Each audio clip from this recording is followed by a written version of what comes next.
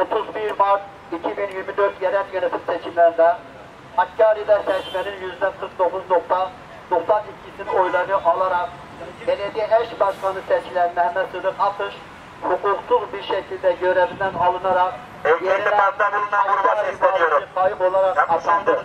Kabul edilemez bu kayyum ataması uzunca bir dönemdir. Serbest seçimlerin bir demokrasi ilkesi olmaktan, seçme ve seçilme hakkının ise temel bir yurttaşlık hakkı olmaktan çıkarıldığının bir kez daha açık ilanıdır.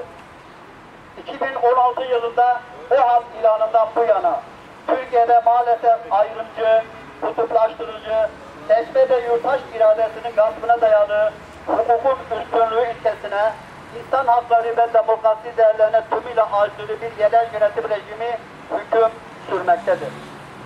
Söz konusu tarihten bu yana yapılan kayyum atamaları birkaç münferit örnek haricinde tümüyle Kürt halkının yoğun yaşadığı il ve ilçelerde önce Demokratik Bölgeler Partisi DBP ile Halkların Demokratik Parti HDP, şimdi ise Halkların Eşitlik ve Demokrasi Partisi DEM Parti yönetiminde bulunan belediyelere yöneliktir.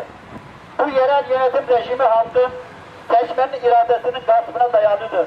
Çünkü bir demokrasinin olmazsa olmaz şartı eşit koşullarda tüm yurttaşların katılımına açık serbest seçimler olduğu kadar bu seçimlerde tecelli eden seçmek, seçmek iradesini tanımak ve ona saygı göstermektir. Benden yana herkesi de siyasi iktidarın bu müdahalesine itiraz etmeye davet ediyorum. Çünkü halkın, seçmenin iradesine sahip çıkmak, barış, insan hakları ve demokrasi değerlerini korumak